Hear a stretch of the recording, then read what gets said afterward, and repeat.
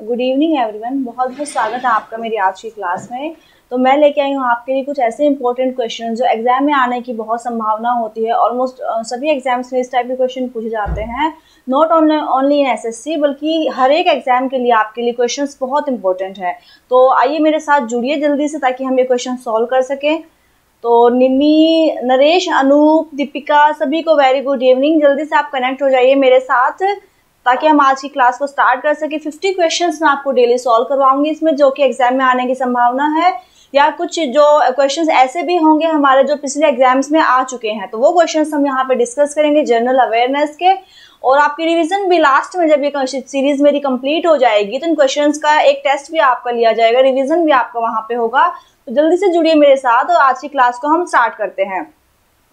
देखिए first question आपका screen पे है कि western Ghat run through many states in India which of the following is not among them आपको ये बताना है कि वेस्टर्न घाट जो है इंडिया का, वो कौन कौन से स्टेट से होकर गुजरता है? तो आपको जो ऑप्शंस दिए हैं, उनमें से वो स्टेट नहीं है।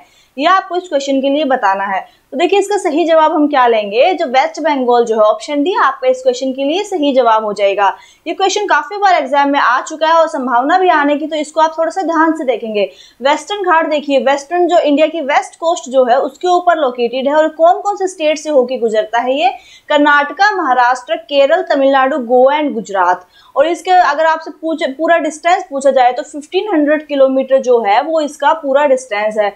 और फ़ेमस आपने नीलगिरी हिल्स का नाम तो सुना होगा। तो फ़ेमस नीलगिरी हिल्स जो है, वो वेस्टर्न घाट के अंदर ही लोकेटेड है। ये चीज़ें आपको याद रखनी है। नेक्स्ट पे देखते हैं क्या है कि Jhamar Kotra mines of Rajasthan are best known for which among the following minerals आपको बताना है कि राजस्थान के जो जमर कोटरा जो खाने हैं, वो किसके लिए प्रसिद्ध है? उन पे कौन सा मिनरल सबसे ज़्यादा पाया जाता है? इसके लिए जवाब दीजिए, आप मुझे कौन सा मिनरल पाया जाता है इन माइंस के अंदर? तो रॉक सल्फेट जो है ऑप्शन सी आपका सही जवाब है। रॉक सल्फेट इस माइंस में सबसे ज़्यादा अधिक मात्रा में पाया जाता है और झमर कोटरा माइन्स की लोकेशन आपसे पूछी जाए तो राजस्थान के अंदर ये लोकेटेड है। नेक्स्ट क्वेश्चन देखिए आपका क्या है? नेक्स्ट क्वेश्चन आपका है आपके स्क्रीन पे कि prevention of cruelty to animals is listed in the which list given given in the seventh schedule in the constitution of India आपसे पूछा गया है कि पशुओं के प्रति क्रूरता को रोकथाम करने के लिए संविधान की कौन सी सातवें अनुसूची में कौन सी लिस्ट के अंदर ये दिया गया है, ये प्रोविज़न दिया हुआ है? तो कौन सी लिस्ट के अंदर, मैंने आपको सारे लिस्ट के बारे में समझाया था कि सेवंथ शेड्यूल जो होता है कॉन्स्टिट्यूशन के, उसके तीन उसके अंडर तीन लिस्ट आती हैं। स्टेट लिस्ट यूनियन लिस्ट और कंकरेंट लिस्ट वो मैंने आपको समझाया हुआ है तो इस क्वेश्चन का आंसर देख लेते हैं कि ये जो है कंकरेंट सब्जेक्ट है। कंकरेंट का मतलब क्या होता है कि इसके ऊपर हमारा पार्लियामेंट भी, हमारा यूनियन भी लॉ बना सकता है और हमारा स्टेट भी लॉ बना सकता है। तो ऐसे लिस्ट को क्या कहा जाता है? कंकरेंट लिस्ट उसको कहा जाता है। यूनियन लिस्ट का मतलब है कि यूनियन जो पार्लियामेंट जो है, उनके अधिकार क्षेत्र के अंदर आता है और उनके टॉपिक्स के ऊपर सिर्फ़ पार्लियामेंट ही लॉ बना सकती है। और स्टेट का क्या है कि स्टेट ही उन टॉपिक्स के ऊपर लॉ बना सकती है। तो ये कहाँ पे दिए गए हैं? ये कॉन्स्टिट्यूशन के जो सेवंथ शेड्यूल जो है, उसके अंदर ये तीन लिस्ट आपको वहाँ पे देखने को मिलती है। नेक्स्ट क्वेश्चन देखिए आपका क्या है? कि यहाँ पे आपको बताना कि who make laws on matters included in the union list and concurrent list अभी मैंने आपको समझाया कि यूनियन लिस्ट तो कंकरेंट कंकरेंट लिस्ट जो होती है, उस पर यूनियन भी लॉ बना सकती है स्टेट भी लॉ बना सकती है। तो आपसे ये पूछा गया है कि कौन से मैटर्स के ऊपर यूनियन जो पार्लियामेंट है, देखिए यूनियन का मतलब वो सेंटर का मतलब होता है, ये हमारी पार्लियामेंट हमारी सरकार। तो यूनियन जो पार्लियामेंट है, वो भी लॉ बना सकती है और कंकरेंट लिस्ट के जितने भी मैटर्स है, उस पर भी लॉ बना सकते हैं। तो आपको कॉमन चूज़ करना है। देखिए यूनियन लिस्ट पे हमारी यूनियन लॉ बना सकते हो कंकरेंट लिस्ट पे स्टेट भी बना सकती है और यूनियन भी बना सकती है। लेकिन ऐसे कौन सी जो चीज़ है, जो जो इन दोनों के ऊपर लॉ बना सकती है यूनियन के ऊपर भी बना सकती है और कॉन्करेंट तो वो क्या है? लोकसभा, हमारी पार्लियामेंट लोकसभा यहाँ पे होता है सेंटर यहाँ पे होता है पार्लियामेंट यहाँ पे होती है तो ये सब आपके सही जवाब थे इस क्वेश्चन के लिए। नेक्स्ट क्वेश्चन आपका देखिए कि according to the categories of land mention in the Chola inscription was known as the land for the maintenance of school आपको इसमें बताना है कि चोला एम्पायर जो था, उसमें चोला का इंस्क्रिप्शन जो हमें देखने को मिला है शिलालेख जो हमें वहाँ पे मिला है तो उसमें कौन से लैंड को मतलब जो वहाँ पे लैंड जो होती थी, उनका क्लासिफिकेशन किया गया था तो पर्टिकुलर लैंड को एक पर्टिकुलर नाम से वहाँ पे जाना जाता था। तो आपको इसमें बताना है कि विद्यालय की रख रखाव की भूमि को उसकी लैंड को क्या नाम दिया गया था चोला एम्पायर के टाइम पे? ये आपको इसमें बताना है। तो देखिए, इसका ऑप्शन हो आंसर होगा सी जो शाला भोग जो है, वो लैंड वो होती थी जो कि किसी विद्यालय के रख रखाव के लिए दी जाती थी। तो शाला भोग हमारे इस क्वेश्चन का सही जवाब है। देखिए, ब्रह्मदेव ब्रह्मदेव का मतलब क्या है? ये कौन सी लैंड होती थी? ये लैंड होती थी जो ब्राह्मण्स को दी जाती थी। ब्राह्मण्स को जो लैंड दी जाती थी गिफ्ट के तौर पे उनको कहा जाता था ब्रह्मदेव, ठीक है? ये आपका क्लियर है। देव, देवदान क्या होता है? देवदान का मतलब क्या है कि जो टेम्पल्स के लिए, जो मंदिर निर्माण के लिए जो वहाँ पे ज़मीन दी जाती थी, उस ज़मीन को नाम को कहते थे देवदान। और देखिए, वेलना वगाई का क्या मतलब है? वेलना वगाई कौन सी लैंड होती थी, जो कि नॉन ब्राह्मण, जितने भी नॉन ब्राह्मण वहाँ थे, उनको जो लैंड दी जाती थी, उनको कहा जाता था वेलना वगाई। आपके चारों ऑप्शंस क्लियर हैं अच्छे से तो हमारे ऑप्शन क्वेश्चन का आंसर है ऑप्शन सी हमारा इसके लिए सही जवाब है। नेक्स्ट क्वेश्चन देखिए आपका क्या है कि prince Salim was the name of future emperor आपको बताना है कि सलीम जो है वो कौन से मुगल शासक का निकनेम था या उनको उस नाम से जाना जाता था? तो ये जल्दी से बताइए इसका सही जवाब क्या होगा? जल्दी जवाब दीजिए मेरे साथ कि सलीम जो थे उनको किस उनका नाम क्या था और वो किस नाम से जाने जाते थे ये आपको इसमें बताना है। तो इसका सही जवाब होगा देखिए जहांगीर। जहांगीर जो थे उनका ही ना, उन, नाम सलीम था। सलीम अनारकली के किस्से आपने काफ़ी सुने होंगे स्टोरीज आपने सुनी होंगे। तो जी हाँ ये वही आ, सलीम है और इनका नाम क्या था? जहांगीर था और इनको सलीम के नाम से भी जाना जाता था। नेक्स्ट क्वेश्चन देखिए आपका। नेक्स्ट क्वेश्चन आपका है आपके स्क्रीन पे। What is the breaking up of the rock on the earth surface आपसे पूछा गया है कि पृथ्वी की जो सतह के ऊपर शैलो के टूटने की प्रक्रिया को क्या कहा जाता है? जल्दी से जवाब दीजिए कि क्या कहा जाता है। बहुत ही सिंपल क्वेश्चन आप थोड़ा सा कॉमन सेंस के साथ इसको सॉल्व कर सकते हैं। तो देखिए वेदरिंग जो है अपक्ष जो होता है, वो क्या होता है कि अर्थ के सरफेस पे जो चट्टाने जो होते हैं, पत्थर जो होते हैं, उनका टूटना टूटना क्या कहलाता है? वेदरिंग कहलाता है। ऑप्शन बी आपका सही जवाब हो जाएगा। इरोजन होता है कि अर्थ की जो ऊपर वाले लेयर वो रिमूव हो जाती है तो उसको सॉइल इरोजन कहा जाता है। देखिए एब्रेशन क्या होता है? एब्रेशन का मतलब क्या होता है कि फ्रिक्शन हो जाता है। मान ली दो कोई बड़ी चट्टाने हैं तो उनके बीच में फ्रिक्शन हो जाता है, या उन चट्टानों और या किसी दूसरे एलिमेंट जैसे कि हवा चल रही है, हवा से भी फ्रिक्शन होता है, पानी वहाँ से बह रहा है तो पत्थर कट जाता है तो इस टाइप की प्रोसेस को क्या कहा जाता है? एब्रिशन कहा जाता है। एट्रिशन क्या होता है? संघर्षण क्या होता है? कि संघर्षण होता है कि रिवर इरोजन जैसे सॉइल इरोजन मैंने आपको बताया कि सॉइल की ऊपर वाली लेयर हट जाती है तो उसमें क्या होता है? मिट्टी का अपर्दन होता है। वैसे ही अगर हम बात करें एट्रिशन की तो जो रिवर इरोजन जो होता है, नदी के अंदर जो ऊपर वाले लेयर जो नदी का जो बेड नीचे होता है, उसके ऊपर वाले लेयर जब हट जाती है तो उसको एट्रिशन कहा जाता है।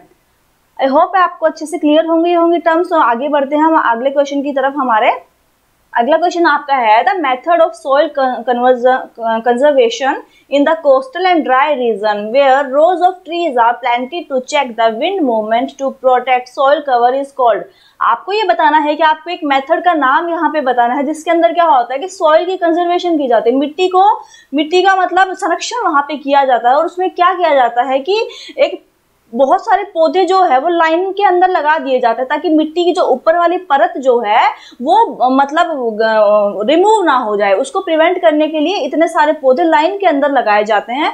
तो उसको क्या कहा जाता है? उसको कहा जाता है शेल्टर बेल्ट जो ऑप्शन डी जो आपका होगा वो सही जवाब हो जाएगा।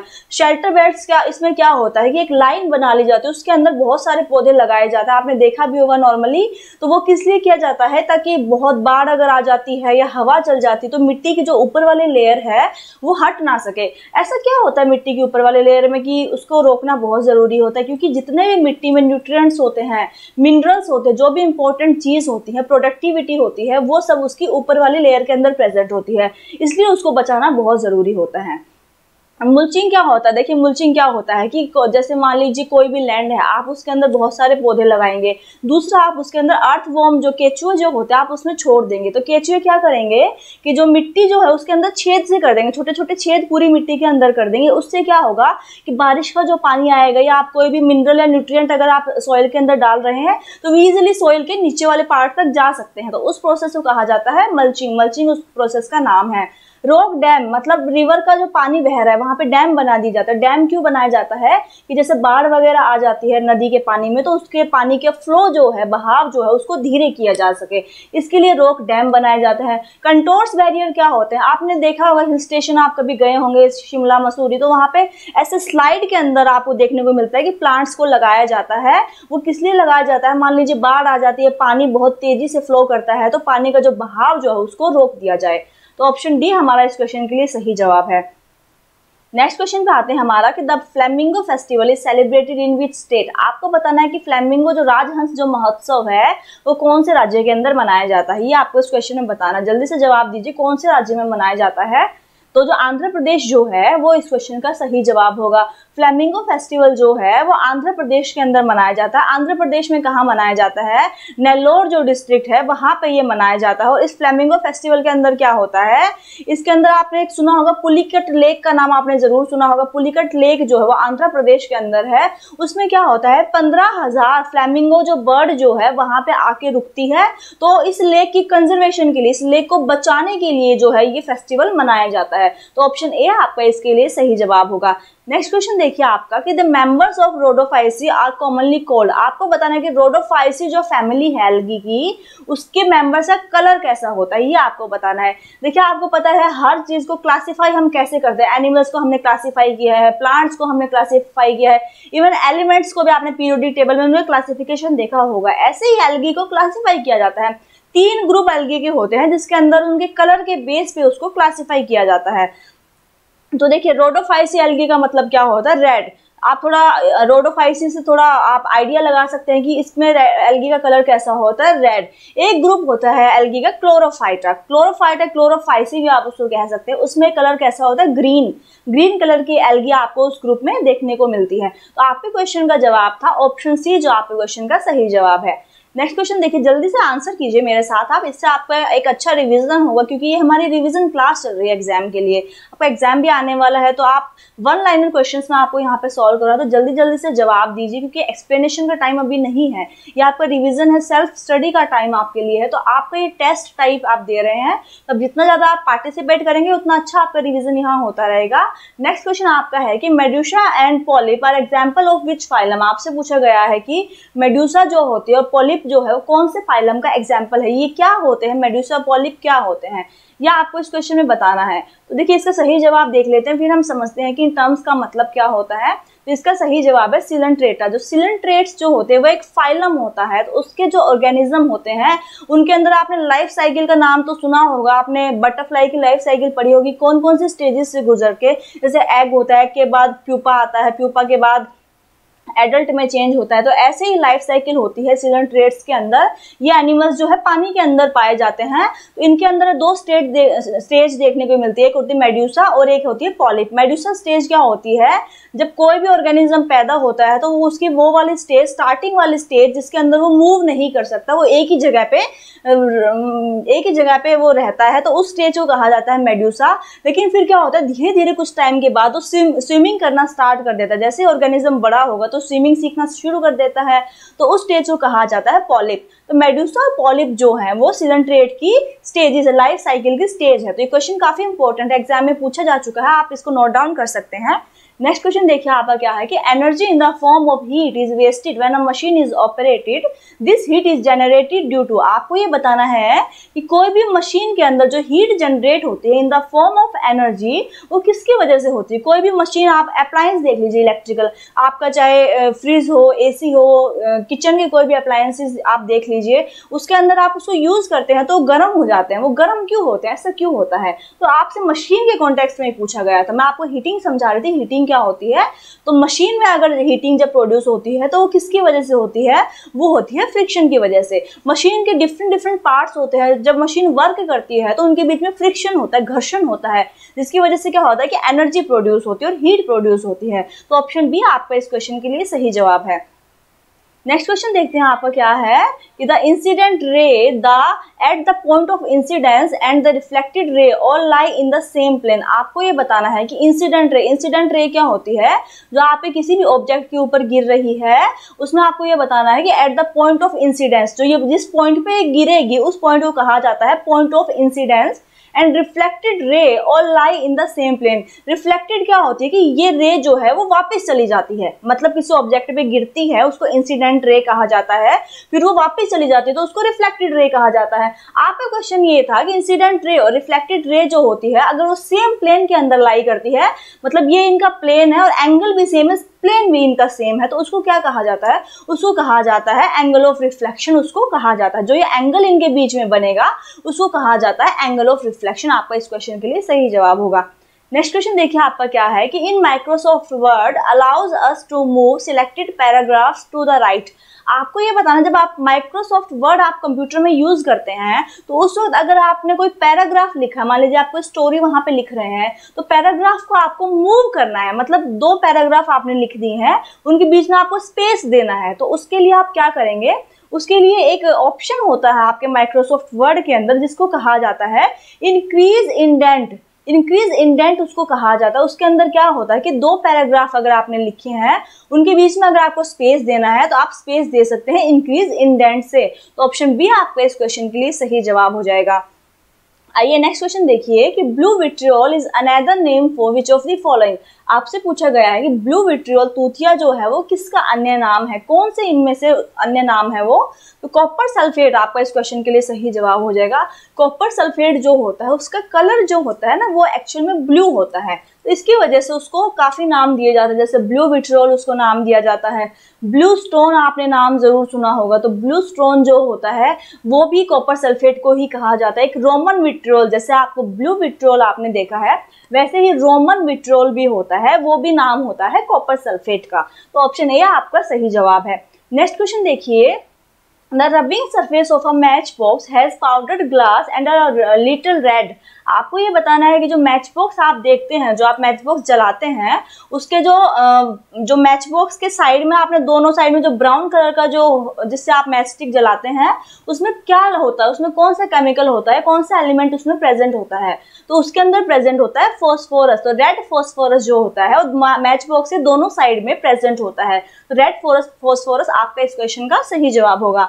नेक्स्ट क्वेश्चन देखिए आपका क्या है? नेक्स्ट क्वेश्चन आपका है कि a few organisms can tolerate and thrive in a wide range of temperature such organism are called आपको ये बताना है कि कोई भी एटमोसफेयर में मान लीजिए कोई ऑर्गेनिज्म है, अगर वो बहुत सारे टेम्परेचर्स में रह सकता है, जैसे कि हमारा एग्ज़ाम्पल लेते हैं। हम बहुत ज़्यादा गर्मी हो फोर्टी डिग्री में भी रह सकते हैं। अगर ठंड हो जाए तीन डिग्री तो हम उसके अंदर भी रह सकते हैं। तो इसका मतलब क्या है कि ऐसे ऑर्गेनिज्म जो कि एक बहुत वाइड रेंज ऑफ़ टेम्परेचर्स को बर्दाश्त कर सकते हैं। जैसे मैंने तो हमारा एक एग्ज़ाम्पल लेके आपको समझाया, लेकिन कुछ ऑर्गेनिजम्स होते हैं कि हंड्रेड डिग्री टेम्परेचर हो, तब भी वो सर्वाइव कर जाते हैं, या माइनस में टेम्परेचर हो, तब भी वो सर्वाइव कर जाते हैं। तो ऐसे एनिमल्स को कहा जाता है यूरी थर्मल तो ऑप्शन बी जो होगा आपका इस क्वेश्चन के लिए सही जवाब हो जाएगा। वाइड रेंज मतलब बहुत ज़्यादा रेंज टेम्परेचर की वो वो झेल सकते हैं। मतलब कितना भी टेम्परेचर ज़्यादा हो जाए या माइनस में चला जाए तो वो जीवित रहते हैं। स्टेनोथर्मल क्या होता है कि ऐसे ऑर्गेनिज्म जो ज़्यादा टेम्परेचर को नहीं झेल सकते हैं। उनको एक पर्टिकुलर टेम्परेचर ही चाहिए।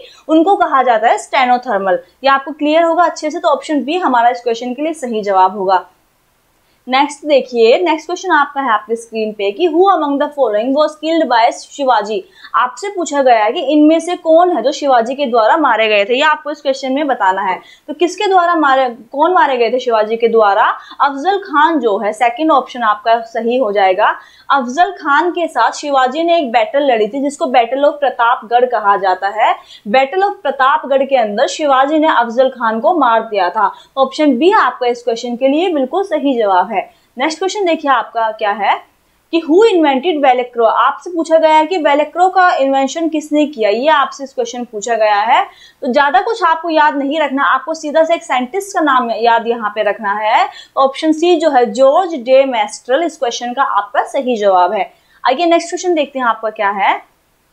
नेक्स्ट क्वेश्चन आपका है which is on your screen that which nation will host the FIFA men's world cup to be held in the year 2018 आपसे ये पूछा गया है कि 2018 का जो फीफा वर्ल्ड कप हुआ था फीफा वर्ल्ड कप किसके रिलेटेड है?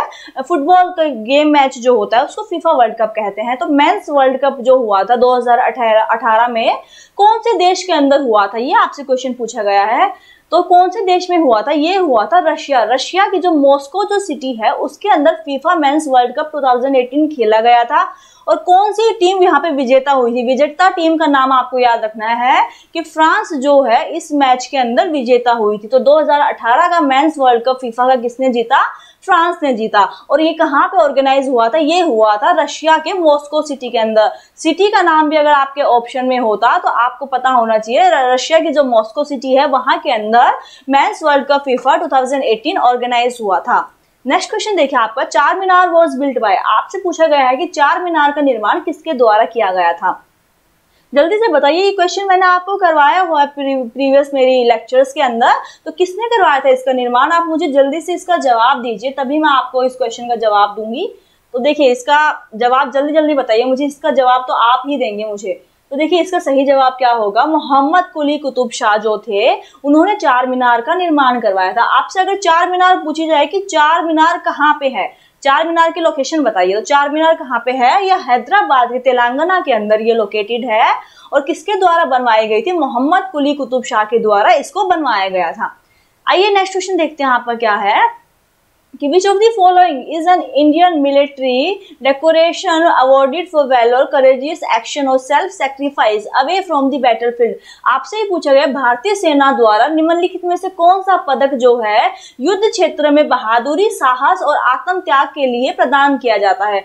यह आपको इसके अंदर बताना तो जल्दी से जवाब दीजिए कौन सा अवार्ड दिया जाता है बहादुरी के लिए?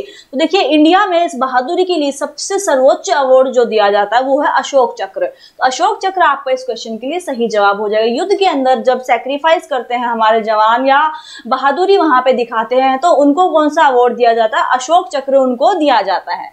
आइए नेक्स्ट क्वेश्चन देखते हैं आपका क्या है। नेक्स्ट क्वेश्चन आपका है कि which of the statement given below are correct आपको बताना है कि आपको तीन स्टेटमेंट यहाँ पे दी गई है। वो स्टेटमेंट कौन में से कौन सी स्टेटमेंट करेक्ट है, या आपको इस क्वेश्चन में बताना है? तो बताइए कौन सी स्टेटमेंट करेक्ट है इस क्वेश्चन में? देखिए स्टेटमेंट वाइज मैं आपको बताती हूँ। फ़र्स्ट स्टेटमेंट आपका है the author of the novel the author of the novel एक सेकेंड ऑप्शन वाइज देखते हैं कि author of the novel Accelerando is Charles Stross option B आपका है कि the author of the novel the wind up girl is Paolo Paolo Bacigalupi author of the novel the devil in silver is Josh Malerman आपसे पूछा गया है, तीन novel का नाम आपको यहाँ पे दिया गया है, तीन ऑथर का नाम आपको यहाँ पे दिया गया है। तो इस क्वेश्चन के लिए थोड़ा सा आई नो कि थोड़ा टफ क्वेश्चन आपको दिया जा रहा है बट एग्ज़ाम में पूछा जा सकता है, क्योंकि ये नॉवल काफ़ी न्यूज़ में रही है। तो देखिए, इसका सही जवाब क्या होगा? ऑप्शन वन एंड टू जो है इस क्वेश्चन के लिए आपका सही जवाब हो जाएगा। ऑप्शन वन एंड टू जो नॉवल्स आपको दी गई है, वो बिल्कुल सही है इसके लिए। लेकिन जो थर्ड जो नॉवल है, वो इस क्वेश्चन का गलत जवाब है, क्योंकि ये जो जोश मेलरमैन के द्वारा नहीं लिखी गई थी, ये लिखी गई थी विक्टर ला वेले। ये किसके द्वारा लिखी गई थी? जो डेविल इन सिल्वर फ़िश जो नॉवल है, वो विक्टर ला वेले के द्वारा लिखी गई थी, ठीक है? ऑप्शन ये आपका सही जवाब हो जाएगा। जल्दी जल्दी से जवाब देते जाइए मेरे साथ आप। Eskimos are the primitive people living in आपसे पूछा गया है कि एस्किमोज का नाम आपने काफ़ी सुना होगा, वो कहाँ के रहने वाले लोग हैं? ये आपको इस क्वेश्चन में बताना था। जल्दी से जवाब दीजिए मेरे क्वेश्चन का, कहाँ के रहने वाले लोग हैं? अगर आप जानते हैं तो जवाब दीजिए, मुझे बताइए आपका जवाब क्या होगा। तो एस्किमोस जो है, ये लोग कहाँ पे रहते हैं? ये रहते हैं नॉर्थ अमेरिका के अंदर। नॉर्थ अमेरिका के अंदर कहाँ पे है? जो आपने कनाडा होता कनाडा हुआ ग्रीनलैंड हुआ अलास्का वाले जो रीजन है, वहाँ पे ये जो जाति जो है एस्किमोज ये आपको वहाँ पे देखने को मिलती है। आपको पता है एस्किमोज के बारे में क्या बात है? कि ये जो होते हैं बर्फ़ के घरों में रहते हैं। ये आपने काफ़ी सुना होगा इनके बारे में। तो ये कहाँ पे पाए जाते हैं? ये पाए जाते हैं नॉर्थ अमेरिका के अंदर। ठीक है? अब नेक्स्ट क्वेश्चन पे आइए। क्या है नेक्स्ट क्वेश्चन आपका? कि with which other country does Bangladesh share its border besides India? आपसे पूछा गया है कि भारत के अलावा बांग्लादेश जो है, अपनी सीमा किस देश के साथ साझा करता है? यह आपसे इस क्वेश्चन पूछा गया। जल्दी से जवाब दीजिए, कौन से देश के साथ साझा करता है बांग्लादेश? ये साझा करता है म्यांमार के साथ। देखिए, बांग्लादेश जो होता है, वो म्यांमार के साथ भी अपनी सीमा को शेयर करता है और इंडिया के साथ भी। तो दोनों ही चीज़ आपको यहाँ पे याद रखनी है। नेक्स्ट क्वेश्चन देखिए आपका क्या है कि latitude is the angular distance of a point on earth surface measured from the आपसे पूछा गया है कि अक्षांश जो होता है वो पृथ्वी की सतह पर एक बिंदु से कि कोणीय दूरी पे यह आपको इसमें बताना है। जल्दी से जवाब दीजिए लेटीट्यूड जो होता है वो क्या होता है? एंगुलर डिस्टेंस देखिए लैटिट्यूड कहाँ से होता है कि अर्थ का जो सेंटर पॉइंट है, वहाँ से आप किसी भी, कोई भी प्लेस की लोकेशन आप पता करना चाहते हैं। अनूप अक्षय, बिल्कुल सही जवाब आप दे रहे आशीष, आपने बिल्कुल सही जवाब दिया। पिछले क्वेश्चन का जवाब म्यांमार था। अब इस क्वेश्चन का जवाब आप मुझे दीजिए कि सेंटर पॉइंट से, मान लीजिए, अर्थ का सेंटर है, किसी भी डायरेक्शन में आपको किसी, कोई भी प्लेस आपको दी गई ए बी सी डी उनकी लोकेशन आपको पता करना है। तो आप कहाँ से पता करेंगे? आप सेंटर ऑफ़ अर्थ से उसका पता करेंगे और इस इस प्रोसेस को पता करने को क्या कहा जाता है? लेटीट्यूड लेटीट्यूड का मतलब क्या होता है? अर्थ के सेंटर पॉइंट से आप किसी भी लोकेशन का पता करते हैं। तो उसको कहा जाता है लैटिट्यूड तो ऑप्शन सी आपके इस क्वेश्चन के लिए सही जवाब हो जाएगा। नेक्स्ट क्वेश्चन देखिए alluvial old alluvial soil is known as आपसे पूछा गया पुरानी जलोढ़ मिट्टी जो होती है, उसको किस दूसरे नाम से भी जाना जाता है? तो कौन से नाम से जाना जाता है? उसको जाना जाता है बांगर के नाम से। ऑप्शन ए आपका इस क्वेश्चन के लिए सही जवाब हो जाएगा। ओल्ड एल्यूवियल सॉइल जो होती है, उसको बांगर के नाम से जाना जाता है और काफ़ी उपजाऊ होती है, काफ़ी फर्टाइल सॉइल जो होती है उस पर प्रोडक्टिविटी जो प्रोडक्शन होगा, वो भी बहुत ज़्यादा आपको देखने को मिलता है। ठीक है नेक्स्ट क्वेश्चन देखते हैं आपका क्या है।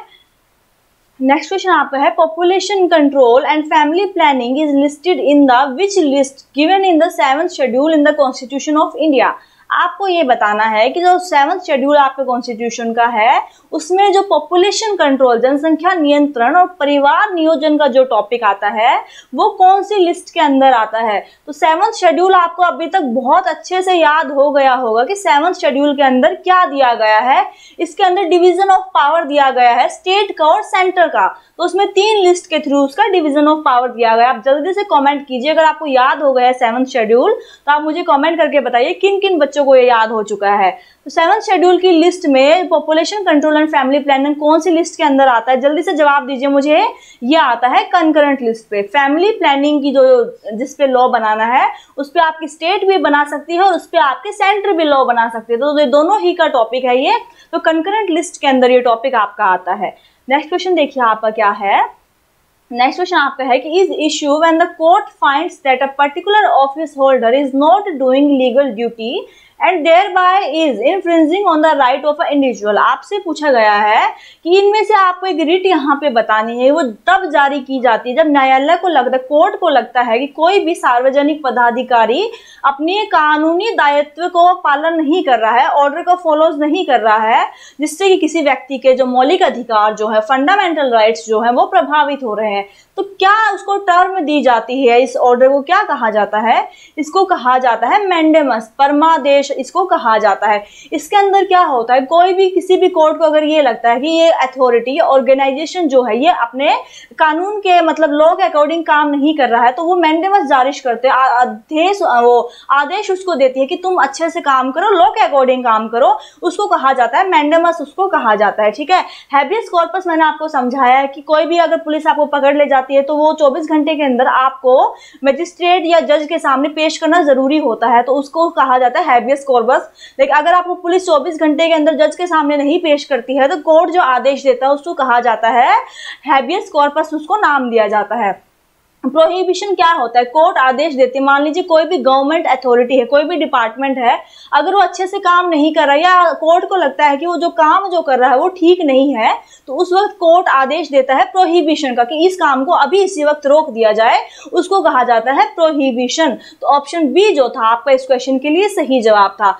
आई होप आपको ये सारे रिट्स इनको रिट्स कहा जाता है, आदेश कहा जाता है। ये कोर्ट जो हमारी होती है कोर्ट और हाई कोर्ट दोनों ही इसको इशू करते हैं। और ये किसके लिए किए जाते हैं? कोई भी अथॉरिटी या कोई भी गवर्नमेंट ऑफिशियल अगर अपना काम अच्छे से नहीं कर रहा है तो कोर्ट उसको ऑर्डर देता है, उसको रिट कहा जाता है।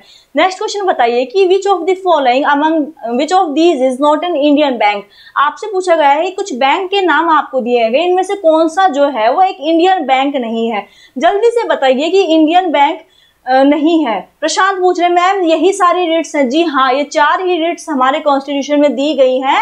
इन चारों रिट्स को आपको अच्छे से इनका मतलब पता होना चाहिए। अब जल्दी से बताइए, कौन सा इनमें से एक इंडियन बैंक नहीं है? तो आप के लिए बहुत इजी क्वेश्चन आप अच्छे से जवाब दे सकते हैं मुझे। तो इसका जवाब दीजिए मुझे, बताइए कौन सा इनमें से एक इंडियन बैंक नहीं है। कौन सा नहीं इंडियन बैंक जल्दी जवाब दीजिए, जल्दी जल्दी से बताइए। कि जो एच एस बी सी जो बैंक है, वो एक इंडियन बैंक नहीं है। एक्सिस बैंक आपको देखने को मिलेगा। H D F C bank भी आपको अपने आसपास मिलेगा। आईसीआईसीआई बैंक भी मिलेगा। लेकिन एच एस बी सी जो बैंक है, वो आपको बहुत कम देखने को मिलेगा। ये कहाँ पे, कहाँ का बैंक है? ये बैंक है ब्रिटेन का। तो आपके क्वेश्चन का यही जवाब था एच एस बी सी जो है वो एक इंडियन बैंक नहीं है। ठीक है, अब नेक्स्ट क्वेश्चन पे आते हैं। नेक्स्ट क्वेश्चन आपका क्या है? कि prince Khurram was the name of the future emperor आपसे पूछा गया है कि प्रिंस खुर्रम जो है प्रिंस खुर्रम जो है वो किस, कौन से मुगल एम्पर का नाम था? जैसे आपने अभी थोड़ी देर पहले सलीम देखा, जहांगीर का नाम था, वैसे आपसे पूछा गया है। राजकुमार खुर्रम जो थे, आगे चलकर कौन से सम्राट कहलाए, ये आपसे नाम पूछा गया है। तो ऑप्शन ए जो है, शाहजहां जो है, उनका नाम था प्रिंस खुर्रम, उनका नाम था। बाद में जाकर वो शाहजहां कहलाए। तो ऑप्शन ए आपका इसके लिए सही जवाब है। जहांगीर का नाम मैंने आपको क्या बताया था? सलीम। तो ये दो नाम आपको यहाँ पे याद रखने हैं। नेक्स्ट क्वेश्चन देखिए आपका, कि are defined as the mass movement of rock debris or earth down a slope आपसे पूछा गया है कि सामान्य रूप से शैल मलबा और ढाल से गिरने वाली मिट्टी के बृहद संचलन के रूप में परिभाषित किया जाता है। जल्दी से बताइए इस प्रोसेस को क्या कहा जाता है कि जब अर्थ के ऊपर मास मूवमेंट ऑफ़ रॉक होता है, जो डेब्रीज जो होते हैं, वो गिरने लगते हैं, उसको क्या कहा जाता है? उसको कहा जाता है लैंडस्लाइड भूस्खलन जो होता है, वो आपने देखा है कि ज़मीन फट जाती है, चट्टाने टूटने लगती है तो उसको कहा जाता है लैंडस्लाइड उसको कहा जाता है। अर्थक्वेक देखिए, भूकंप, जल्दी से देखिए, भूकंप का आपको पता है कि जो प्लेट्स जो होती है अर्थ के नीचे, उन प्लेट्स में जब हलचल होती है तो भूकंप आता है। साइक्लोन चक्रवात आपको पता है कि जब एयर मासेज जो बहुत तेज़ी से बहने लगती हैं तो चक्रवात आता है। फ्लड आपको पता है कि जब वाटर बहुत तेज़ी से फ्लो करने लगता है तो बाढ़ आपको वहाँ पे देखने को मिलती है। तो लैंडस्लाइड हमारा इस क्वेश्चन के लिए सही जवाब था। रोमन सागर, बिल्कुल सही जवाब आप दे रहे हैं। तो अगले क्वेश्चन का जवाब दीजिए आप मेरे, कि the material carried by the glacier such as rock big and small sand and silt get deposited which are called glacier आपको ये बताना है कि जो ग्लेशियर जो होते हैं, हिमनद जो होते हैं, उनके द्वारा लाए गए पदार्थ, बहा के लाए गए पदार्थ, जैसे छोटे बड़े शैल, रेत या मिट्टी तो उनको क्या कहा जाता है? उनको कहा जाता है मोरेन्स। हिमोड उनको कहा जाता है। ऑप्शन ए जो है आपका इस क्वेश्चन के लिए सही जवाब है। डेल्टा देखिए क्या होता है? कोई भी नदी जो होती है, आपको पता है जब नदी बहती है तो अपने साथ मिट्टी, पत्थर वो लेके आती है तो वो किनारे के ऊपर उनको जमा कर देती है। तो उस, जो किनारे पे जब वो बन जाता है इकट्ठे हो जाते हैं सेडिमेंट्स उनको डेल्टा कहा जाता है। प्लेटू पठार, आपको पता है कि एक फ्लैट एरिया जो कि हाइट में थोड़ा सा ऊँचा हो, लेकिन वहाँ की लैंड जो है वो फ्लैट हो तो उसको कहा जाता है प्लाटू उसको कहा जाता है। नेक्स्ट क्वेश्चन देखिए आपका क्या है? भानु अनूप प्रशांत सागर बिल्कुल सही आप ज, आपने जवाब दिया है। इसका मतलब आपका रिवीजन बहुत अच्छे से चल रहा है। तो और मेरे क्वेश्चंस का जवाब दीजिए। Who among the following constituted तुर्काने चहलगानी। राकेश पूछ रहे मैम आप एक क्लास डेली चलती है? जी हाँ मेरी क्लास छह बजे डेली होती है। तो आप क्वेश्चन का जवाब दीजिए कि तुर्काने चहलगानी जो है उसका गठन किसने किया था? कौन से राजा के द्वारा उसका गठन किया गया था? जल्दी से आप जवाब दीजिए इस क्वेश्चन के लिए मेरा, किसके द्वारा गठन किया गया था? ये गठन किया गया था इल्तुतमिश के द्वारा। जो ऑप्शन बी जो है, वो आपका इस क्वेश्चन के लिए सही जवाब है। ये जो मामलूक जो डायनेसिटी थी, मामलूक जो वंश था मामलुक वंश के तीसरे रूलर थे इल्तुतमिश। इल्तुतमिश ने क्या किया था कि सत्तर सत्तर गुलामों का एक समूह बनाया था, जो कि राज्य के जो भी एडमिनिस्ट्रेशन जो था, उसकी देख रेख करने के लिए सत्तर गुलामों का एक समूह बनाया था। उसको कहा जाता था तुर्कान तुर्का ने चहलगानी कहा जाता था। और ये किसके द्वारा शुरू किया गया? ये शुरू किया गया इल्तुतमिश के द्वारा। तो बिल्कुल सही सीमा अनूप नुकुल बिल्कुल सही जवाब आपने दिया। आशीष गौरव, आपने भी बिल्कुल सही जवाब दिया है। इल्तुतमिश इस क्वेश्चन के लिए हमारा सही जवाब होगा। नेक्स्ट क्वेश्चन देखिए कि the member of phaeophyceae are commonly called which algae algae का मैंने आपको बताया था एल्गी को तीन पार्ट में हमने डिवाइड किया था ब्राउन एल्गी ग्रीन एल्गी और रेड एल्गी ये तीन मैंने आपको बताया था। तो हम रेड एल्गी के बारे में पढ़ चुके हैं। अब बात करते हैं फियोफाइसी एल्गी के बारे में। उसका कलर कैसा होता है? कलर बताइए कैसा होता है? मुझे जल्दी से जवाब दीजिए। वो होती है ब्राउन कलर की। देखिए फियोफाइसी जो ग्रुप है, मैं यहाँ पे लिख दे रही हूँ। आपको तीनों एल्गी याद हो जाएँगी। फियो फाइव मैं शॉर्ट टर्म से इसको डोनेट करती हूँ। फियो फाइव जो होते हैं, उनका कलर होता है ब्राउन और रेडो रेड फाइव जो होते हैं, उनका कलर होता है रेड रोडोफाइसी सॉरी रोडोफाइसी जो होते हैं, उनका कलर रेड होता है। और क्लोरोफाइसी आपसे पूछी जाए तो क्लोरोफिल आपको पता है कहाँ पे होता है? प्लांट्स की लीफ के अंदर। लीफ का कलर कैसा होता है? ग्रीन तो एल्गी का कलर कैसा होगा? ग्रीन तो ये तीनों एल्गी आपको याद रखनी है। कोई ना कोई क्वेश्चन में आपसे पूछ ली जाएगी। नेक्स्ट क्वेश्चन पे आते हैं। आपका है कि star fish sea urchin antedon sea lily are all example of which phylum आपसे पूछा गया है कि एस्टेरियस इकाइनस एंटीडोन जो होते हैं, जिनको स्टार फ़िश सी अर्चिन और सी लिली भी आपने नाम काफ़ी सुना होगा इनका। कौन से फाइलम से इनका संबंध है? कौन से फाइलम के अंदर ये आते हैं? ये बताइए कौन से फाइलम में आते हैं? जल्दी से जवाब दीजिए। अगर आपने मेरी पिछली क्लासेस को अच्छे से ध्यान से सुना है तो आप इस क्वेश्चन का सही जवाब दे सकते हैं। देखिए, इसका नुकुल, मैंने आपका नाम ले दिया है तो आप मुझे इस क्वेश्चन का जवाब दीजिए। इस क्वेश्चन का जवाब क्या होगा? इसका जवाब होगा ऑप्शन ए इकाइनोडर्मेटा जो है, इस क्वेश्चन के लिए सही जवाब होगा। इकाइनोडर्मेटा जो फाइलम है, उसके अंदर ये सारे एनिमल्स लाई करते हैं। इनके अंदर क्या विशेष बात ऐसी होती है? कि इन तीनों को एक फाइलम के अंदर रखा गया ऐसा क्या आपको देखने को मिलता है? देखिए, इनके अंदर जो सिमिट्री जो होती है रेडियल सिमिट्री इनके अंदर आपको देखने को मिलती है। रेडियल सिमिट्री क्या होती है? रेडियल सिमिट्री मैंने आपको समझाया हुआ है कि अगर सेंटर पॉइंट से किसी एनिमल की बॉडी का डिवीज़न आप करते हैं सेंटर पॉइंट को लेके किसी भी डायरेक्शन में आप डिवीज़न काटते हैं एनिमल को तो उसको कहा जाता है रेडियल सिमिट्री बायोलैटरल सिमिट्री क्या होती है? अगर एनिमल्स को आप दो पार्ट में डिवाइड करते हैं हॉरिजॉन्टली करें आप या वर्टिकली करें तो उसको कहा जाता है ऐसी वाली सिमिट्री को क्या कहा जाता है? बायोलैटरल बाई मतलब दो दो पार्ट में डिवाइड करना ऑर्गेनिज्म की बॉडी को बायोलैटरल सिमिट्री कहा जाता है। रेडियल क्या कहा, कहा जाता है? कि सेंटर पॉइंट से एनिमल की बॉडी को डिवाइड करना रेडियल सिमिट्री कहा जाता है। नेक्स्ट क्वेश्चन देखिए आपका क्या है? ये देखिए ऑर्गेनिज्म ये आप इससे थोड़ा सा याद रख सकते हैं। नेक्स्ट क्वेश्चन देखिए। During uniform motion of an object along a straight line it remains constant with time आपसे पूछा गया है कि यूनिफॉर्म मोशन के अंदर जब ऑब्जेक्ट एक स्ट्रेट लाइन में ट्रेवल करता है, एक सीधे पाथ के अंदर ट्रेवल करता है तो टाइम के साथ क्या चीज़ कॉन्स्टेंट रहती है? ये आपको इसमें बताना है। फिजिक्स वाले बच्चे जल्दी से जवाब दीजिए। आपने फिजिक्स में पढ़ा होगा इसके बारे में तो आप इसको क्वेश्चन का आंसर कर सकते हैं।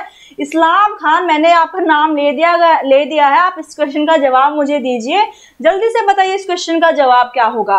इस क्वेश्चन का जवाब होगा वेलोसिटी ऑप्शन बी जो आपका इस क्वेश्चन के लिए सही जवाब है। वेलोसिटी क्या होती है? वेलोसिटी यूनिफॉर्म मोशन क्या होता है कि कोई भी एक ऑब्जेक्ट जो है मूव कर रहा है, चल रहा है, एक पर्टिकुलर एक उसकी जो स्पीड जो वेलोसिटी जो है, उसकी फिक्स है। फिक्स वेलोसिटी हो, जो टाइम जो है उसका चलने का, वो भी फिक्स है। तो उसको क्या कहा जाता है? यूनिफॉर्म मोशन उसको कहा जाता है, ठीक है? नेक्स्ट क्वेश्चन देखिए आपका क्या है?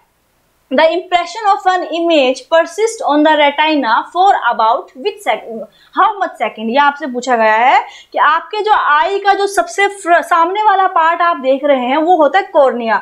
जो आपको विजिबल पार्ट है आपके आई का, वो कॉर्निया होता है। कॉर्निया के अंदर आपकी लाइट अंदर, आँखों के अंदर जाती तो आँखों की जो सबसे बाहर वाला पार्ट आप देख पा रहे हैं, उसको कहा जाता है कॉर्निया। कोर्निया के बाद देखिए क्या होता है। कोर्निया के बाद रेटा है जहाँ पे ये लाइट आपके आँख के अंदर आ, मतलब जाती है उसके बाद क्या होता है कि आपके आँख के पीछे वाले पार्ट पे आपकी इमेज बनती है। मान लीजिए इस, इस वक्त मैं लैपटॉप को देख रही हूँ तो लैपटॉप की जो रोशनी वो मेरी आँखों के अंदर जाएगी कोर्निया के थ्रू कोर्निया के बाद वो उसकी इमेज जो उसकी पिक्चर जो है वो बनती है रेटाइना के ऊपर। तो रेटाइना से आपसे पूछा जाए कि जो ह्यूमन की जो आई होती है आँख जो होती है उसके अंदर इमेज कहाँ बनती है? तो कहाँ बनती है रेटाइना के अंदर? ये आपको याद रखना है इसके लिए। तो आपसे पूछा गया था रेटाइना पर बने प्रतिबिंब का प्रभाव लगभग कितने सेकंड तक रहता है? तो one sixteen one by sixteen one by sixteen second तक जो इमेज का प्रभाव आपकी आँख के रेटाइना के अंदर रहता है। तो ये आपको इसमें याद रखना है। नेक्स्ट क्वेश्चन बताइए in Microsoft Word allows us to move selected paragraph to the left आपसे पूछा गया है कि माइक्रोसॉफ्ट वर्ड के अंदर कोई भी सिलेक्टेड पैराग्राफ अगर लेफ़्ट साइड में उसको मूव करना है तो उसके लिए हम क्या यूज़ करते हैं? जल्दी से बताइए, बच्चे वन टेंथ मथुर जो है वन टेंथ जवाब दे रहे हैं राहुल। बच्चे वन टेंथ इसका जवाब नहीं होगा, इसका नाम होगा, इसका जवाब होगा वन बाय सिक्सटीन ठीक है? अब नेक्स्ट देखिए कि माइक्रोसॉफ्ट वर्ड अगर आप पैराग्राफ को लेफ़्ट साइड की तरफ़ इसको मूव करते हैं तो उसको क्या कहा जाता है? कौन सी की आप उसके लिए यूज़ करते हैं माइक्रोसॉफ्ट में? पिछले क्वेश्चन में मैंने आपको बताया था इंक्रीज इंडेंट जो होता है वो किसके लिए होता है? दो पैराग्राफ में आपको स्पेस देना होता है। तो उसके लिए यूज़ करते हैं इंक्रीज इंडेंट और आपको अगर पैराग्राफ को लेफ़्ट साइड में मूव करना है, उसके लिए यूज़ करेंगे डिक्रीज इंडेंट। ऑप्शन ए आपका इस क्वेश्चन के लिए सही जवाब हो जाएगा, ठीक है? आइए अगले क्वेश्चन में आपसे क्या है? Acetic acid is another name of which of the following आपसे पूछा गया है, एसिटिक एसिड जो है, इनमें से किसका दूसरा नाम है? क्या किसका नाम है? बताइए जवाब, या आपने अपने घरों में देखा होगा, सुना भी होगा इसके बारे में। जल्दी से बताइए इसका सही जवाब क्या होगा। ऑप्शन ए, विनेगर जो है, सिरका जो है, वो एसिटिक एसिड का दूसरा नाम है। विनेगर आपने देखा होगा, अचार वगैरह घर में जब मम्मी डालते हैं तो उसके अंदर विनेगर सिरका मिलाया जाता है। तो सिरका जो है, विनेगर जो है, वो किसका नाम है? एसिटिक एसिड का। नेक्स्ट क्वेश्चन देखिए, आपका क्या है? Reaction of copper sulphate and iron produce iron sulphate sulphate and what? आपसे पूछा गया है कि कॉपर सल्फेट देखिए कॉपर सल मैं आपको एक अच्छे से तरीके से इसको समझाती हूँ। कॉपर सल्फेट देखिए C U S O four ये हो गया हमारा कॉपर सल्फेट आपसे पूछा गया है कॉपर सल्फेट एंड आयरन अगर आयरन और कॉपर सल्फेट की रिएक्शन करवा दी जाए तो हमें क्या मिलता? है iron sulphate. F E S O four हमें मिल गया। तो देखिए एफ़ ई e और एस ओ फोर अगर चला जाएगा, उसके बाद क्या बचता है? कॉपर। तो आपके क्वेश्चन का क्या जवाब होगा? कॉपर जो आपके क्वेश्चन का सही जवाब होगा। नेक्स्ट क्वेश्चन देखिए आपका क्या है? नेक्स्ट क्वेश्चन आपका है आपकी स्क्रीन पे कि a few organism can tolerate and thrive in a narrow range of temperature such organism are called. आपसे पूछा गया, ऐसे ऑर्गेनिज्म बताइए, जो कि ज़्यादा टेम्परेचर की रेंज को बर्दाश्त नहीं कर सकते हैं। तो ऐसे ऑर्गेनिज्म को हम क्या कहेंगे? मैंने आपको पिछले क्वेश्चन में बताया था, ऐसे ऑर्गेनिज्म जो कि एक बहुत वाइड रेंज ऑफ़ टेम्परेचर मतलब बहुत ज़्यादा टेम्परेचर का अगर डिफरेंस होगा, उसको बर्दाश्त कर सकते तो उन एनिमल्स को कहा जाता है यूरी यूरी थर्मल लेकिन ऐसे कुछ एनिमल्स जो कि बर्दाश्त नहीं कर सकते हैं, उनको कहा जाता है स्टेनोथर्मल। ज़्यादा हाई रेंज अगर टेम्परेचर की होगी तो वो होंगे यूरीथर्मल। लेकिन कम अगर होगी तो उनको कहा जाएगा स्टेनोथर्मल, उनको कहा जाता है। आई होप आपको ये टर्म्स अच्छे से डिफरेंस पता लग गया होगा कि यूरीथर्मल क्या होता है, स्टेनोथर्मल क्या होता है। तो आगे क्वेश्चन आ जाता है एग्ज़ाम में तो आप बताइए आंसर कर सकते हैं, नहीं मुझे? जल्दी से जवाब दीजिए मुझे कमेंट करके बताइए आप कर सकते हैं आंसर या नहीं? आइए नेक्स्ट क्वेश्चन देखते हैं कि which scheme was launched in the state of Bihar to provide clean water of the Ganga to domestic area by postal services आपसे पूछा गया है कि बिहार के अंदर एक स्कीम लॉन्च की गई है, जिसमें कि गंगा का जो क्लीन वाटर है, जो स्वच्छ पानी जो है, वो डोमेस्टिक एरिया जो घरेलू एरिया वहाँ तक पहुँचाया जाएगा। किसके द्वारा? पोस्टल सर्विस पोस्ट के द्वारा पहुँचाया जाएगा। तो काफ़ी अजीबोगरीब आपको स्कीम देखने को मिल रही है, लेकिन इसका फ़ायदा बहुत है। तो इसका फ़ायदा बहुत है तो स्कीम किसके द्वारा लॉन्च की गई है। कौन से स्टेट ने इस स्कीम को लॉन्च किया है? जल्दी से जवाब दीजिए मुझे, कौन से स्कीम ने इसको लॉन्च किया है? देखिए, अगर आपको मेरे कॉन्सेप्ट समझ में आ रहे हैं या आप पे क्वेश्चंस ज़्यादा से ज़्यादा सॉल्व हो रहे हैं तो आप मुझे कमेंट करके बताइए कि मैम हमें समझ में आ रहा है, आपका पढ़ाने का तरीका हमें सही लग रहा है। तो आप मुझे कमेंट करके बताइए कि मैम आपके कॉन्सेप्ट मुझे समझ में आ रहे हैं। जल्दी से बताइए मुझे कॉमेंट करके। इस क्वेश्चन को देख लेते हैं हम। इसका सही जवाब होगा ऑप्शन ए, गंगा जल डिलीवरी स्कीम। देखिए, इतना कुछ आपको याद नहीं रखना है। इसके अंदर आप थोड़ा सा आइडिया लगाइए कि गंगा से रिलेटेड, गंगा का पानी पहुंचाना है तो गंगा जल डिलीवरी स्कीम वो होगी। और कौन से स्टेट के द्वारा लॉन्च की गई है? ये पटना के अंदर, बिहार जो स्टेट है, वहाँ पे ये लॉन्च की गई है। इसके अंदर क्या होगा कि जो घरेलू एरिया वो है, जो है, वहाँ पे पोस्ट के द्वारा, डाक के द्वारा स्वच्छ पानी को घर घर पहुँचाया जाएगा। इसके लिए स्कीम लॉन्च की गई है। Mission Bhagirath in Telangana. ये स्कीम क्या है? इसके अंदर क्या है कि जो स्वच्छ पानी जो है भागीरथ का, वो हर इंसान को, हर जितने भी रहने वाले लोग हैं तेलंगाना के अंदर, सभी को पानी, साफ़ पानी मिले। उसके लिए मिशन भागीरथ चलाया गया था। ये भी आपसे अगर क्वेश्चन में होता कि मिशन भागीरथ जो है, वो कौन से स्टेट में चलाया गया है? तो कौन से स्टेट में? जवाब दीजिए कौन से स्टेट में सीमा कह रही है मैम समझ में आ रहा है तो थैंक यू बच्चे, आपको समझ में आ रहा है तो ऐसे ही मैं आपके लिए और क्वेश्चन लेके आऊँगी तो जल्दी से बताइए कि भागीरथ मिशन आपसे पूछा जाए, कौन से स्टेट में शुरू किया गया है तो ये शुरू किया गया है तेलंगाना स्टेट में। तो हमारे क्वेश्चन का आंसर है ऑप्शन ए गंगाजल डिलीवरी स्कीम पटना बिहार के अंदर शुरू की गई है। नेक्स्ट क्वेश्चन देखिए आपका क्या है कि हु डिस्कवर्ड इलेक्ट्रॉन कितनी बार, पता नहीं कितनी बार एग्ज़ाम में क्वेश्चन आ चुका है, ये तो आपको अभी तक याद हो ही जाना चाहिए। मोस्ट इंपोर्टेंट क्वेश्चन है। कम से कम तीन चार बार तो मैं ही आपको इस क्वेश्चन को करवा चुकी हूँ। तो जल्दी से जवाब दीजिए मुझे। कि कोई इलेक्ट्रॉन की डिस्कवरी किसने की थी? किन्होंने की थी? जल्दी से बताइए मुझे, किन्होंने डिस्कवरी की थी? तो जे जे थॉम्सन जो है, आप सभी को पता भी होगा जे जे थॉम्सन ने इलेक्ट्रॉन की डिस्कवरी की गई थी। अब ये तो आपको पता है कि जे जे थॉम्सन ने की थी, लेकिन आप ये बताइए कौन से ईयर में इसकी खोज की गई थी? ये शायद आपको नहीं पता होगा। तो जिसको पता है कि कौन सी ईयर में खोज की गई थी, वो मुझे जवाब दे। किन किन बच्चों को पता है कि जे जे थॉम्सन ने कौन से ईयर में इलेक्ट्रॉन की डिस्कवरी की थी? 1897 के अंदर जे जे थॉम्सन ने इलेक्ट्रॉन की डिस्कवरी की थी, ठीक है? नेक्स्ट क्वेश्चन देखिए आपका कि डिकेन नेक्स्ट क्वेश्चन आपका है, decane has how many hydrogen atoms आपसे पूछा गया है, डिकेन जो है उसके अंदर कितने हाइड्रोजन एटम्स होते हैं? तो देखिए डेका जो यूज़ टर्म हम यूज़ करते हैं, वो करते हैं दस के लिए। या आपको अच्छे से पता है कि डेका जो टर्म होती है, वो दस के लिए यूज़ की जाती है।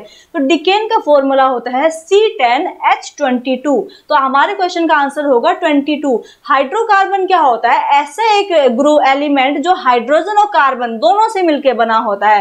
तो डिकेन जो है, वो देखिए कार्बन भी है, उसके अंदर हाइड्रोजन भी है। तो इसको हम क्या कहेंगे? हाइड्रोकार्बन और इसके अंदर दस कार्बन होते हैं और 22 जो होते हैं, वो इसके अंदर हाइड्रोजन होती है। तो ऑप्शन ए आपका इस क्वेश्चन के लिए सही जवाब होगा। नेक्स्ट क्वेश्चन देखिए, आपसे पूछा गया है कि Mattancherry palace is located in आपसे पूछा गया है कि मतन चेरी पैलेस जो है, वो कहाँ पे स्थित है? तो जल्दी से बताइए कहाँ पे स्थित है? आपने कभी विज़िट किया है? इसको टूर किया है मटन चेरी पैलेस का? अगर नहीं किया है तो मैं बता दूँ, ये केरल के अंदर लोकेटेड है। ऑप्शन बी जो केरल के अंदर कोची जहाँ पे है, वहाँ पे ये पैलेस लोकेटेड है। ये पैलेस क्यों फ़ेमस है? क्यों मैंने आपसे क्वेश्चन पूछा इस पैलेस के बारे में? क्योंकि यहाँ पे जो पुर्तगाल के जो शासक थे, पोर्तुगीज जो शासक थे, राजा जो रहे हुए कोची के, उनकी यहाँ पे आपको पोर्ट्रेट और पेंटिंग्स यहाँ पे आपको इस पैलेस के अंदर देखने को मिलती है। और ये कहाँ पे है? केरल के अंदर कहाँ पे है? कोची सिटी के अंदर ये लोकेटेड है। तो मटन चेरी पैलेस कहाँ पे है? ये है ऑप्शन बी केरल के अंदर। बिल्कुल सही जवाब आपने। सब बच्चे मुझे बिल्कुल सही जवाब दे रहे राहुल, प्रेम, जितेंद्र, गोरी, बिल्कुल सही जवाब है। केरल इस क्वेश्चन के लिए हमारा सही जवाब है। नेक्स्ट बताइए Port of Spain is the capital city of आपसे पूछा गया है कि जो पोर्ट ऑफ़ स्पेन का पोर्ट ऑफ़ स्पेन है, वो किसकी कैपिटल सिटी है? जल्दी से जवाब दीजिए थोड़ा सा टफ क्वेश्चन मैं आपको यहाँ पे दे रही हूँ, लेकिन ये आपके एग्ज़ाम पॉइंट ऑफ़ व्यू से बहुत इंपॉर्टेंट है। इसका जवाब मुझे दीजिए, क्या जवाब इसका होगा? इसका आंसर होगा त्रिनिदाद एंड टोबाको ये आपका इस क्वेश्चन के लिए सही जवाब होगा। पोर्ट ऑफ़ स्पेन किसकी कैपिटल है? त्रिनिदाद और टोबाको की ये कैपिटल है। यहाँ पे आपको ये याद रखना है। नेक्स्ट देखिए Acinonyx jubatus is the scientific name of ये क्वेश्चन भी मैंने आपको बहुत बार करवाया हुआ है। जल्दी से जवाब दे आप मुझे इस क्वेश्चन का कि Acinonyx jubatus is the scientific name of किसका साइंटिफिक नेम है? कौन से एनिमल को का ये साइंटिफिक नेम है? ये है ऑप्शन सी चीता का ये साइंटिफिक नेम है। तो ऑप्शन सी चीता जो है आपके इस क्वेश्चन का सही जवाब हो जाएगा। चीता के बारे में एक चीज़ याद रखिए कि अगर आपसे फास्टेस्ट एनिमल पूछा जाए कि फास्टेस्ट लैंड एनिमल कौन सा है तो कौन सा आप बताएँगे? चीता। चीता जो है वो फास्टेस्ट सबसे तेज भागने वाला लैंड एनिमल है। तो चीता के बारे में आपको ये याद रखना है। नेक्स्ट क्वेश्चन देखिए आपका क्या है? आपका है कि Changlo is a folk dance of आपको बताना है कि चांगलो जो है, वो किसका लोक नृत्य है? या आपको इसमें बताना जल्दी से जवाब दीजिए, कौन सी कंट्री का ये चांगलो जो है, वो फोक डांस है? जल्दी बताइए, कौन से स्टेट का? सॉरी कंट्री नहीं स्टेट आपसे मैं पूछ रही हूँ। तो ये है नागालैंड का। नागालैंड के अंदर ये जो फोक चांगलो जो है, वो वहाँ का एक फ़ेमस फोक डांस है। ये किस लिए मनाया जाता है? क्यों फ़ेमस है? तो इसका क्यों फ़ेमस है? क्योंकि युद्ध के अंदर जितने भी लोग शहीद हुए थे वैरियर्स जो थे, उनके लिए ये फेस्टिवल मनाया जाता तो नागालैंड जो इस क्वेश्चन का सही जवाब है। आइए अब बढ़ते हैं हमारे आज की सीरीज़ के आखिरी क्वेश्चन पे। तो फिफ्टी क्वेश्चन जो आपके लिए है, वो ये है कि which is the only train which run between Kolkata and Dhaka? आपको बताना है कि कोलकाता वेस्ट बंगाल से जो ढाका के बीच चलने वाली एकमात्र ट्रेन कौन सी है? जल्दी से जवाब दीजिए, कौन सी ट्रेन है? इसका सही जवाब क्या होगा? ये हमारा आज का आखिरी क्वेश्चन है। जो इसका आंसर देगा, इसका मतलब आपका बहुत अच्छे से रिवीजन चल रहा है। आपको सारे क्वेश्चंस का जवाब पता है। जल्दी से जवाब दीजिए इस क्वेश्चन का मेरे इसका आंसर हमारा होगा बी मैत्री एक्सप्रेस जो है it is the only train which run between Kolkata and Dhaka. तो मैत्री एक्सप्रेस आपका इस क्वेश्चन के लिए सही जवाब हो जाएगा। ये थे हमारे आज के 50 क्वेश्चन जो मैंने आपके साथ डिस्कस किया। आप इन वीडियोस को एक बार दोबारा देखिएगा। दोबारा आपका रिवीजन हो जाएगा। फिर भी कोई क्वेश्चन में अगर आपको डाउट है, आपको नहीं समझ में आया है तो you can comment in the comment section और आज के लिए बस इतना ही। कल दोबारा मिलते हैं सेम टाइमिंग पे कुछ नए इंपॉर्टेंट क्वेश्चन के साथ, जो कि आपके एग्ज़ाम में आने की संभावना बहुत ज़्यादा है उनकी। Thank you so much and that's all